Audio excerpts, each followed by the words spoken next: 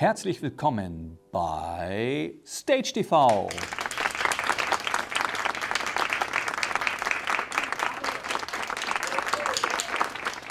Meine heutigen Gäste sind auf den großen Bühnen Deutschlands und darüber hinaus zu Hause. Ich kann es kaum erwarten, Sie jetzt hier begrüßen zu dürfen.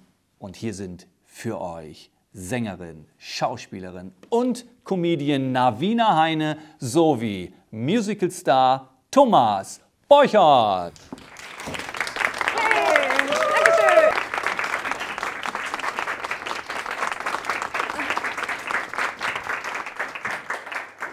Herzlich willkommen, Navina, lieber Thomas. Wie es sich für eine anständige Talkshow gehört, kommt jetzt ein Einspieler über euch. Navina Heine. Die gebürtige Berlinerin Navina Heine hat in München studiert und lebt heute im schönen Schleswig-Holstein. Als Sängerin, Schauspielerin, Dozentin und Comedian begeistert sie mit viel Leidenschaft sowohl auf der Bühne als auch mit ihrem eigenen YouTube-Kanal ihr Publikum. Ihr großer Ideenreichtum und ihre kreative Vielseitigkeit zeigt sie in eigenen Videoformaten wie Navinas Nagelstudio oder Navina Offstage. Thomas Borchert. Das Publikum kennt ihn als Graf von Krollock, in dessen Rolle er unzählige Zuschauer in vier verschiedenen Ländern faszinierte. Der wohl bekannteste Musical-Darsteller Deutschlands ist Sänger, Schauspieler und Songwriter und wurde mehrfach mit dem Deutschen Musical Award ausgezeichnet. Mit dem gräflichen Solokonzertprogramm Der Vampir am Klavier begeistert er sein Publikum in vielen Städten Deutschlands. In dem emotionalen Showprogramm It Takes Two präsentiert er sowohl romantische als auch lustige Duette gemeinsam mit seiner Frau Navina. Wir freuen uns sehr, Sie heute hier zu Gast bei Mark Connery im Studio von Stage TV begrüßen zu dürfen. Und hier ist das Traumpaar des Musicals, Thomas Borchert und Navina Heine.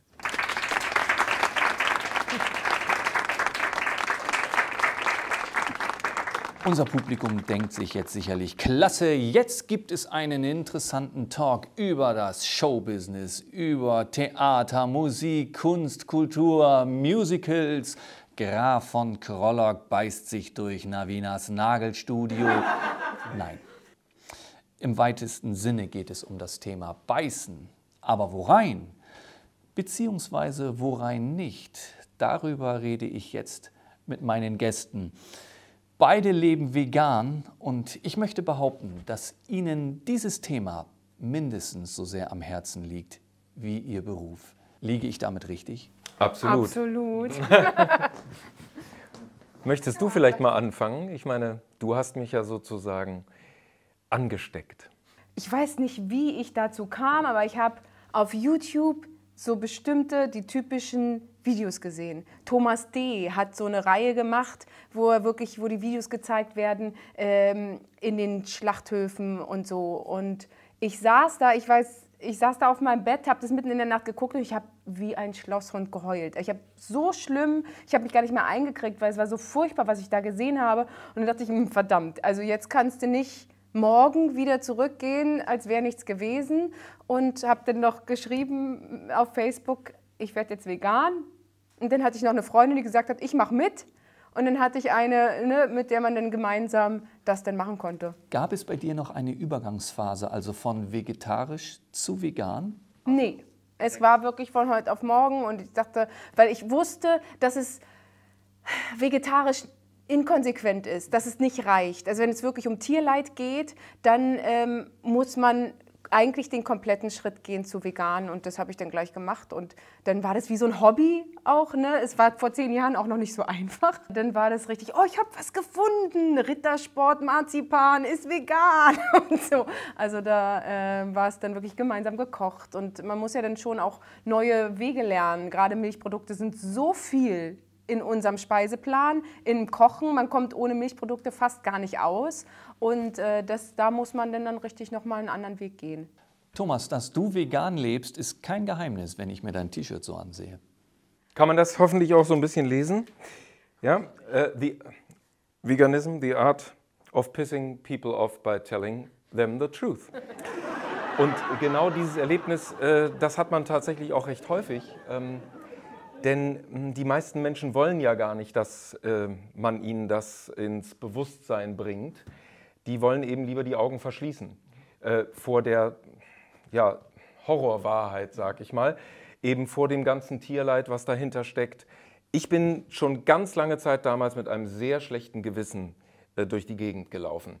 Ähm, also eigentlich schon ein bisschen zu lange.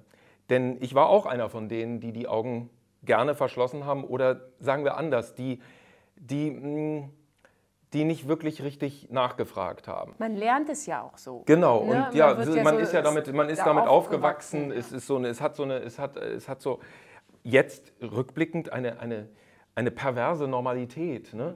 dass man da immer irgendwie so tote Tiere auf dem Teller hat und so und gar nicht so wirklich nachfragt, wie kommen die da überhaupt hin? Was, wa- was war das denn vorher? Das, das war ein lebendiges Wesen. Und ähm, es ist wirklich erstaunlich, wie sehr man das so irgendwie und wie lange man das eigentlich so von sich so wegschieben oder weghalten kann. Ähm, und irgendwann konnte ich es eben einfach nicht mehr. Ähm, und dann kam so eine Phase, in der ich angefangen habe, immer weniger Fleisch zu essen, dann nur noch ähm, Biofleisch und sogar dann, der nächste Schritt war dann auch nur noch wirklich zertifiziertes Fleisch, also Demeter zertifiziert und so. Also, und das dann auch nur noch ganz, ganz selten. Trotzdem blieb immer noch dieses schlechte Gewissen da.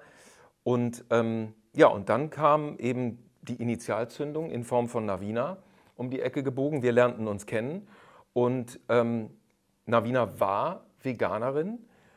Und das war dann für mich eigentlich ähm, dieser Moment, in dem es mir leicht gemacht wurde, zu sagen, ähm, okay, jetzt mache ich das, jetzt ziehe ich das durch, jetzt ist Schluss. Ähm, Navina wusste ja auch schon sehr viel darüber. Das war auch mein großer Vorteil. Ne? Das heißt also, ich äh, konnte natürlich mich da jetzt wunderbar anhängen, reinhängen bei ihr und dem ganzen Wissen, was sie schon darüber angesammelt hatte. Und dann äh, bin ich auch von einem Tag auf den anderen tatsächlich sofort, zack, äh, Veganer geworden. Und ähm, es ist einfach, es ist einfach bis, bis jetzt, sie sind jetzt ein paar Jahre her, ähm, weiß ich, dass diese Entscheidung die einzig richtige war, immer noch ist. Und, ähm, und für diejenigen, die, die es irgendwie immer noch nicht wahrhaben wollen, ja, dass das äh, die einzige, einzig richtige Art ist, die einzig wahre Art ist, vor allen Dingen heutzutage, jetzt. Wie ist das bei euch im Freundeskreis? Also so nach dem Motto, Navina und Thomas kommen heute Abend zum Essen zu Gast, also servieren wir natürlich nur Salatblätter und Körner. Also wie ist das mit der Akzeptanz? Also ich bin vor allem total happy über meine Familie, weil eigentlich ich, sind viele in meiner Familie dann auch vegan geworden. Meine Mutter, mein Stiefvater ist schon vegetarisch, äh, mein Neffe, mein Bruder ist Veganer, meine Nichte ist Veganerin. So, ne, das war, es macht dann, ich finde immer gerade Weihnachten ist so schwierig sonst in der Familie. Es macht Weihnachten feiern so angenehm äh, und so einfach und es ist einfach total schön.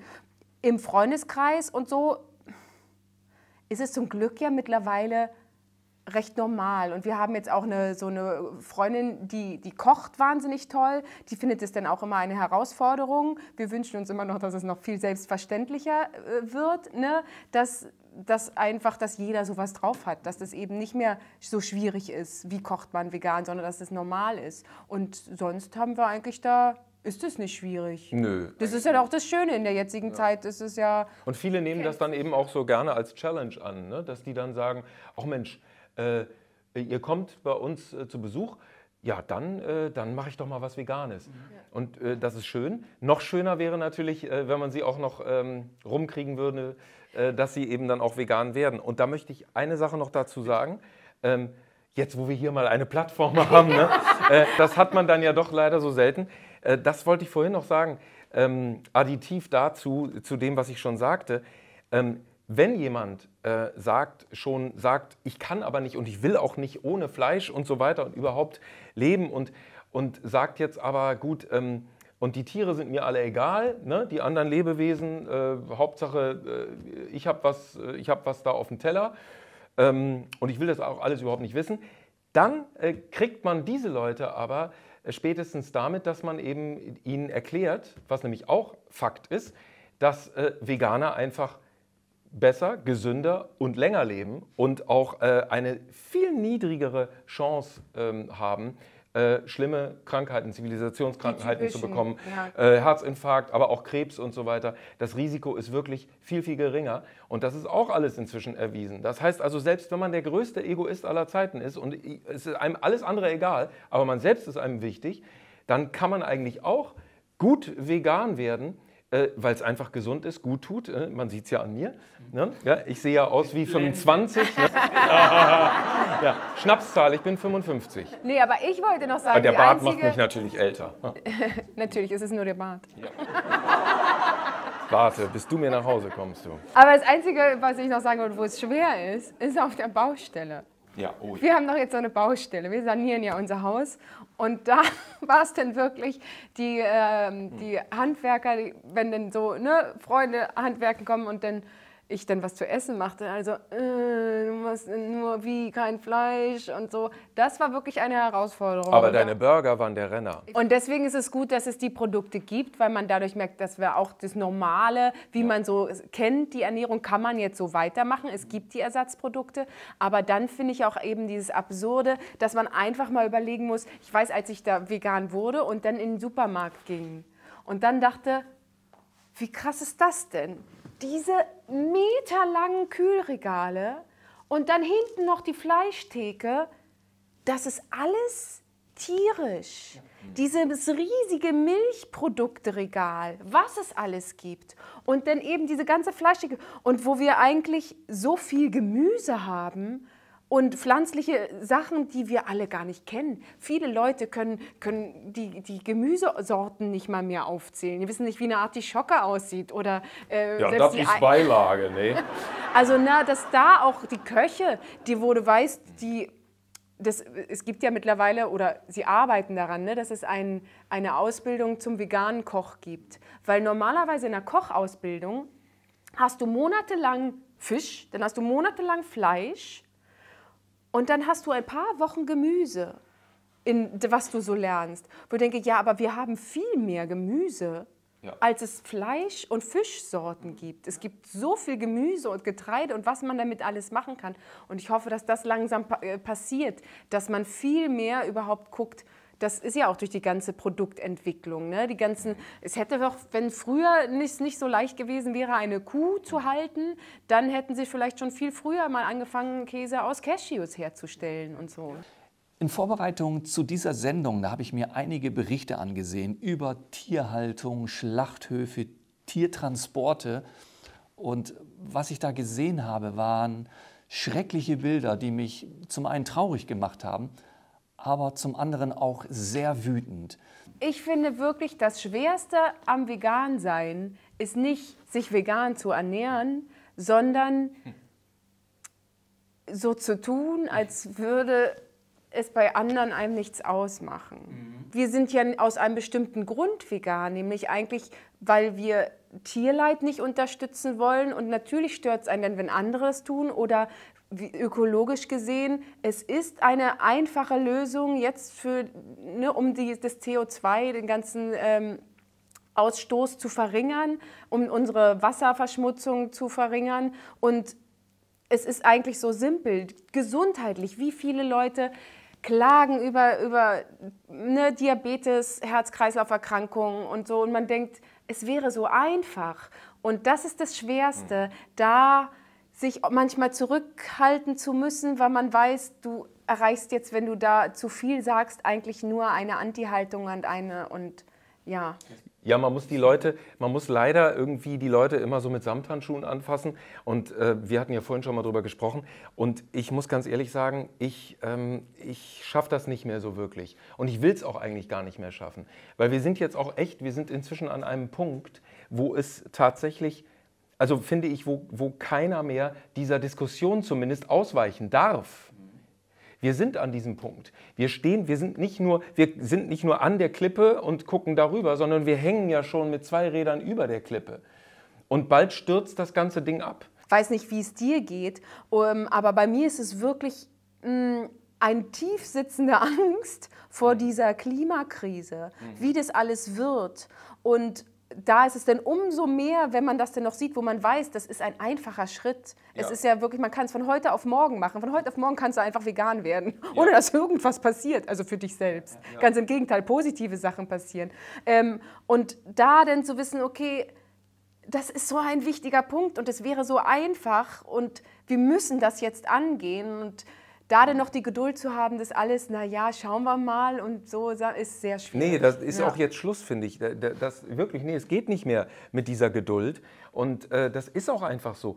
Ich möchte auch gerne, tatsächlich, ich möchte auch den Leuten, auch die, die jetzt vielleicht zugucken oder zuhören, auch wirklich zurufen und sagen, ja, schaut bitte hin, schaut hin, fragt nach, woher kommt das Fleisch auf eurem Teller, woher kommen die Fische, ja? Und wenn ihr das nämlich wirklich tut, euch, der, euch dem wirklich stellt, dann äh, glaube ich, fällt es euch verdammt leicht, äh, euch umzustellen, ja? Weil, ja, wer, wer, wer, wer möchte schon, dass ein Tier gequält wird, äh, dass ein Tier, dass einer, einer Mutter das Baby entrissen wird nach der Geburt, die ja auch äh, eingeleitet wurde, also die ja auch künstlich dann ähm, gem gemacht wurde und, äh, und dann, äh, dass dann dieses, das Muttertier da irgendwie tagelang nach dem Kalb schreit, das Kalb wird irgendwie irgendwo weggeschmissen oder entsorgt, ähm, weil es halt unnütz ist. Solche Dinge stecken dahinter. Das ist das, was, was, was, was ihr, sag ich mal, ihr Fleischesser und Fischesser und so, ihr habt äh, da etwas auf dem Teller, das sind oder waren gequälte Tiere. Und äh, wenn man das unterstützen möchte weiterhin, äh, ist das eine Entscheidung. Okay. Ne? Äh, aber wenn man das nicht unterstützen möchte, und ich gehe mal davon aus, dass das die meisten nicht tun wollen, sowas, äh, dann ist die einzige Konsequenz, vegan zu werden, auch nicht Vegetarier zu werden, denn dann unterstützt man immer noch die Milchindustrie. Ich war jetzt tatsächlich, das habe ich auch bei dir gemerkt, man ist sogar, es ist doch schlimm, oder? Wir, ich, ich ich habe gemerkt, wie ich richtig, wie mein Herzschlag höher wird, wie ich richtig nervös bin. Nervöser, als wenn ich auf, auf, bei einer Premiere auf eine Bühne muss oder sonst. Ich bin nervös, weil, weil es eben, ne, weil man, man, man ist es ja auch nicht gewöhnt, dass man das sozusagen mal darf und äh, dass das auch wirklich mal richtig zum Thema gemacht wird. Und deshalb sind wir dir auch so dankbar, dass du das tust. Wir können sicherlich noch ganz, ganz viel über dieses wirklich sehr, sehr wichtige Thema sprechen, aber unsere Sendezeit ist um. Ganz, ganz herzlichen Dank an Navina Heine, herzlichen Dank Thomas Borchardt, herzlichen Dank an mein Publikum hier im Studio und natürlich ganz lieben Dank fürs Einschalten. Wir sehen uns in Kürze wieder. Vielen Dank.